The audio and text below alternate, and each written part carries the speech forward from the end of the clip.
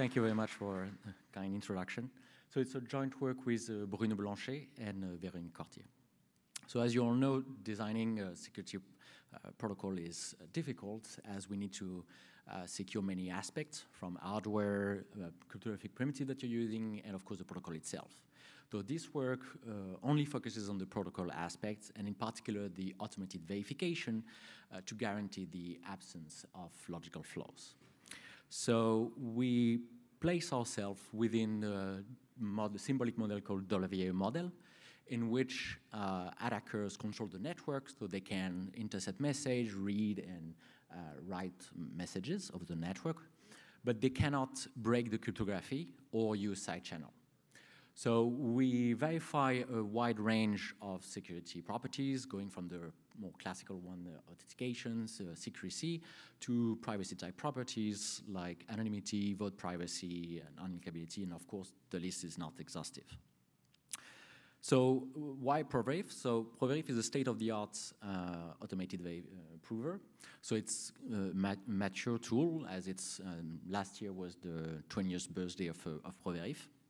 So it's uh, fairly used to, fairly easy to use, especially at the beginner, as it is a really a push-down button tool.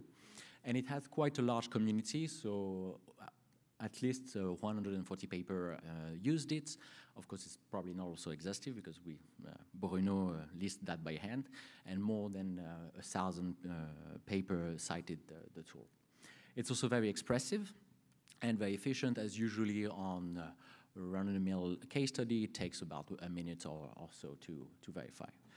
But of course, it's not perfect, uh, as the problem of verifying uh, cryptographic protocols is undecidable in general, so the tool may not terminate, and it may also yield some false attacks, so we'll explain a bit more why uh, later on. And it's specifically the case in the class of protocol that use global memory that we usually call stateful protocols where you, you need uh, typically to store information through several sessions.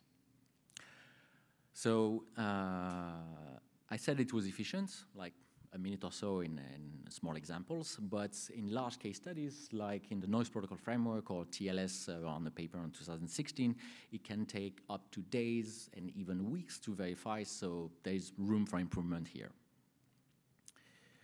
So what does ProVerif looks like as a user perspective. So you start usually by ex expressing uh, the cryptographic primitive you're going to use in your protocol and the algebraic properties using either equational theory or rewriting systems. And you express the behavior of the participants of your protocol through a process algebra comes from the applied Pi calculus, which is an extension of the Pi calculus with cryptographic uh, for, for crypto.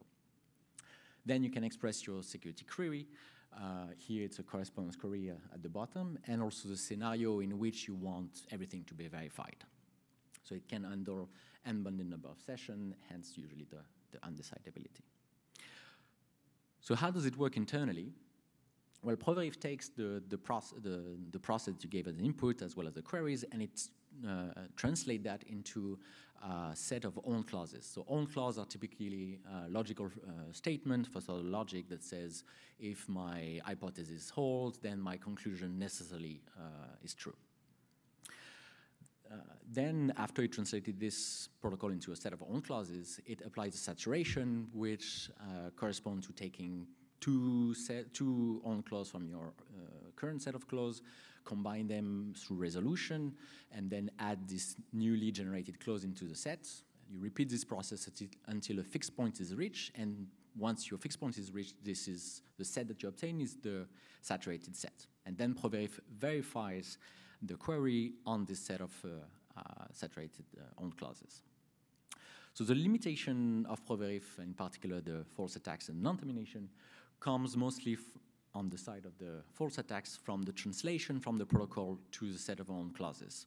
This is where we lose some precision from the semantic of the WO model to what ProVerif is able to prove. And in terms of uh, non-termination, well, most of it is due to the saturation of Horn clauses, which, when it does terminate, still takes about 95% of the computation time of ProVerif. So I put 95%, this is average case, because of course it depends on your case study. So how did we uh, went along to tackle those two problems? So first, it was one of the uh, main achievement of this paper is to introduce lemmas, axiom, and restriction inside ProVerif. So originally, ProVerif, typically, if you, you, can, if you can write several queries if you want, but it tackled them completely independently. Okay. Here, on the other hand, when you write a lemma, which, which is also a correspondence query, ProVerif will first try to prove it as, it as if it was a normal query. And then the new thing is that once he's able to prove it, he will try to reuse the statement inside the proof of the next query, of the next lemma or your main queries. And it does that uh, for every lemma that you uh, put as input. Axioms are typically lemmas that ProVerif does not try to prove, so it assumes that it is true as an axiom. So it's uh, the user job to ensure that the axioms are correct, and it's typically very useful if you have a hand proof on the axiom on your side, or in particular to handle stateful protocol, uh, if you can, this is how we re-inject some, some of the precision that were lost during the translation from the protocol to the Horn clauses by adding uh, axiom that um, fit the, the, the, semantic of the Dolev-Yao model. And once all the, all the lemmas are proved, ProVerif try to uh, prove the main query using all the lemmas and all the axioms that he managed to so those lemmas are typically applied within the saturation procedure uh, that I mentioned earlier. So that was the main, uh, the, one of the main work uh, that we did in this paper, but we kind of didn't stop there because, as I mentioned, ProVerif is 20 years old, and some part of the algorithm that were implemented, well, are 20 years old. And in the meantime, people worked on Horn clauses, and so there was a bunch of literature that uh, we looked at and was quite useful uh, to see how can we improve the tool and make it more efficient. And so we went over the, the full code of ProVerif and uh, improve many aspects of it, whether from the simplification of clause, the subsumption of clauses, the translation from process to, to clauses, also the resolution, the resaturation procedure, and, and so on. So I will show you in a later slide how those improvements impacted the verification time, and also, also going to describe a bit more about the subsumption. But we also uh, improved the expressivity of ProVerif by first adding natural numbers. So you can actually now use natural numbers and do operation like plus and, and subtraction uh, that is very useful to describe, for example, counters that are uh, used quite often in, uh, in stateful protocols. Of course, we don't allow everything about natural numbers, so you're not allowed to do multiplication on division, but still. We also uh, added temporal queries and improved the way ProVerif verifies them to further reduce the number of false attacks.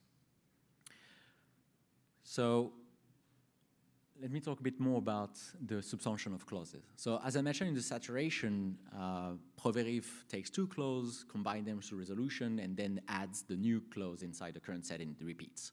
But if you do that naively, then it will never terminate. It will always go into a loop. So one of the main things that ProVerif does is that before adding this newly generated clause into the set, it will try to see if this clause is not already implied by another existing one or subsumed.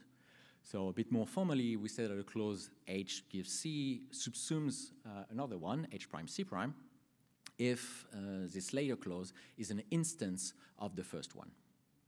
So checking that uh, a clause subsumes another, it's an NP-hard problem. So it's, it's, well, it's costly in terms of uh, verifying. And the problem is that we do that for every clause that are generated, and even when the clause is generated and we need to add it, we also try to remove all the clauses from the current sets of, of uh, Horn clauses that are subsumed by the new one. So we do this operation often, maybe really often, and in fact, just the subsumption uh, function corresponds to about 80% of the time in average of uh, ProVerif. So what we looked at is we look at a paper of, uh, by Schulz in 2013 that introduced the notion of feature vector indexing. And here the idea is, is fairly simple. It's say, okay, instead of applying always the subsumption, first let's try to find uh, a small function f that uh, computes some element on your clause, like for example the number of symbols in it And this function should satisfy the following property. It says, okay, if H, uh, the clause HC subsumes the, the clause H prime C prime, then the application of F on HC should be smaller than the application of F on H prime C prime. And so what we can do now is that instead of always applying the NP-hard problem on it, is that we first compute on the Horn clauses the function f, check if the equality holds. If it doesn't hold, then we don't even need to apply the uh, NP-hard problem because we know that the, the test will always fail. And just this simple idea, in fact, once you organize your clause uh, as a tree indexed by the feature value, provide a huge speed up in ProVerif. So as I mentioned, that I would give you a bit of an idea of how the different uh, improvement fare in, in practice. So we took a case study from the literature, so it's not, it's really case study from different papers that we knew took a long time, uh, according to the author, and notice that the, the scale here is logarithmic. So for instance, on the noise, so here A, B, C, and D is the different optimization that we did. And so every time uh, the, the scale say that at the beginning it's we only use A, then it's the B, meaning that we use the optimization A and B, and so on and so forth. Okay. And so, for instance, in the noise uh, framework protocol, we went from one week of verification time to 20 minutes. So it's about 500 uh, times speed up. Notice that all optimization do not scale the same way. They always optimize, they always make it faster, but they do not always scale the same way depending on the case study. So for example, in the Neuchâtel uh, protocol, which uh, to a 900 times faster speed up of verification time, uh, most of the speed gain were from the translation of uh, protocol to Horn clauses. So to validate our the expressivity results, we also looked at uh, paper from the literature and look at all the files that were given some query where ProVerif yield cannot be proved, meaning it was not able to say yes or no to the, to the feature, to the query. But we also look at unpublished protocol. So why unpublished? Because, well, usually we tend to publish uh, protocols that are verified by ProVerif and people tend to not publish their file that doesn't work. On the other hand, what they do, which is very nice for us, is that they send us their file saying like, oh, I don't manage to make my protocol work, so with ProVerif, can you help us? So we have a huge bunch of, uh, uh, of examples where the ProVerif were not able to prove, uh, and we also apply our results on this by activating, uh, activating uh, some of the new feature that we introduced. And in, uh, in total, we on the mm, one we mm, tried, we gained about 40 to 50 uh, new queries that were, were ProVerif either failed to prove or was not terminating and now was able to give a, a, positive or a negative result. More recently, we also applied uh, use ProVerif in uh, a big case study of TLS plus an extension of, uh, of encrypted client hello where we prove privacy, confidentiality, authentication, and integrity goals.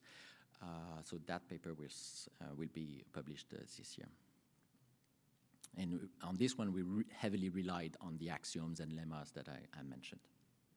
So what's next for ProVerif? So that was the, the state, let's say, uh, uh, of uh, ProVerif 2. And with this paper, we definitely did much better in terms of expressivity and, and efficiency. So I didn't put completely remove the, the gray, it's still gray because of course it's undecidable, so it, there will always be a case where it does not terminate or yields or false attacks. But we still do much better in terms of expressivity. However, uh, there's still some things that we're still not able to do and we're working on it. Like for example, some cryptographic uh, primitives are missing. Uh, and I'm thinking, for example, of uh, primitive using abelian groups, uh, XOR. And also in terms of efficiency, now that ProVerif generates clauses much faster, we ended up having not a time problem, but a memory problem. And on, for on the, my example of uh, TLS with uh, ECH, we kind of blow up the memory of our server after 200 and 300 gigabytes. Uh, server was like, "Oop, stop, I stop." So we are currently working on to make this a bit better. And finally, I put now the easy to use in orange because now that we have many feature, additional ones. Uh, it's a bit harder to, as a user, to understand how to properly use the lemmas and axiom, which feature to activate or not. So we are trying to see how we can uh, more automatically detect or guide the user how to, which feature to use in which cases. Thank you very much for your attention. If, if you have any question, uh, uh, go ahead and feel free to visit the website of, uh, of the tool. Uh, there is a mailing list and feel free to send us. Um, we are very happy if you send us all your files that do not work for us. It's gold. So go ahead.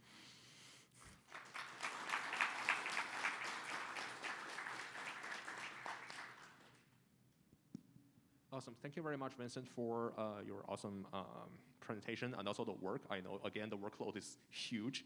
So uh, let's take uh, questions from uh, the on-site audience. Yeah, first of all, thank you for developing such a fantastic tool. Uh, I actually wanted to ask whether you could give us any intuition for the definition of this feature function that allows you to accelerate subsumption checks. The feature, the, the feature from Schulz? Yeah, exactly. You said the condition that the function needs to meet, what, what features do you actually use? Oh, so uh, in terms of feature, you have, for instance, uh, but I mentioned the number of uh, symbols. So you can, for each symbols, you can count the number of symbols in one clause and sub in the other clause. And typically, if the, the one that you try to subsume is smaller than the one that is supposed to be, do the subsuming, then you already know that here it's not working. You can do the same with the def of the symbols within the terms. Uh, you also have uh, the def in terms of uh, inside the terms, but also their the the the placement of the symbol within the within the terms themselves. So it's all those kind of a small uh, small property they can easily compute by just doing one uh, linear going linearly through your clause. So it's much much faster. Got you. Thank you. Awesome. Thank you very much. Uh, in, in, the interest of time, we're not taking any more questions. Um, let's let's welcome. Uh, well, let's thank the speaker and uh, get ready for the next talk. Thank you very much.